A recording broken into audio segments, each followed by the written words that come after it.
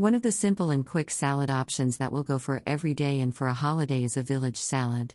The simplicity of cooking and the delicious result are the two most important points in the recipe. Prepare all the ingredients. Boil the potatoes in advance in a uniform, cool and peel.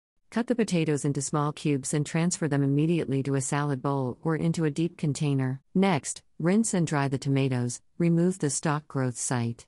Cut the tomatoes into small cubes and add them to the potatoes.